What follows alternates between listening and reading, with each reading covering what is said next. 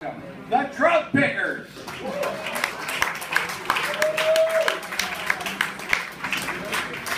Thank you very much. Uh, This is uh, a large group of people that um, I've been teaching at the Trout Lake Community Center on Thursday nights, and we're just winding up this session. I do these sessions every season, and uh, in this particular class, I have 30 people, including four stand-up bass players.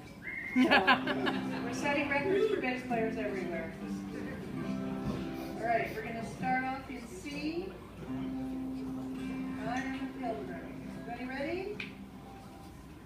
One, two, three, four, C.